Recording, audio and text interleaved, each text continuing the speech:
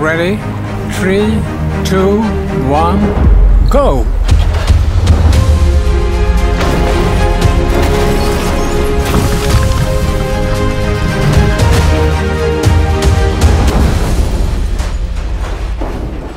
Today we have uh, dropped 10 cars from 30 meters from a crane. We do that because the rescue team or emergency service need to develop new methods to release people inside the car with a severe crash. We are several different rescue services that uh, cooperate to find the best practice in uh, tools and uh, methods and tactics regarding uh, extrication in car accidents.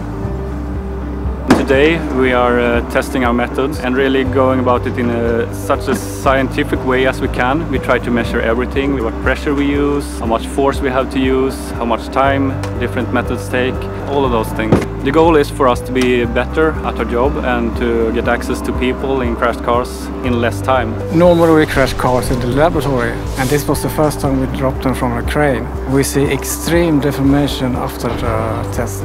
And we do this to give the rescue team a real challenge to work with. There are some different scenarios where we do extrications in modern cars. For instance, when a car hits a larger vehicle or uh, when we uh, have accidents in very high speed or when we have uh, situations where a car is hit where there are no crumple zones, for instance like the T-bone accident. In these kind of situations, the people in the car are usually in a critical situation. We usually talk about the golden hour and that means we have to have the patient in the hospital at the latest one hour after the accident has happened.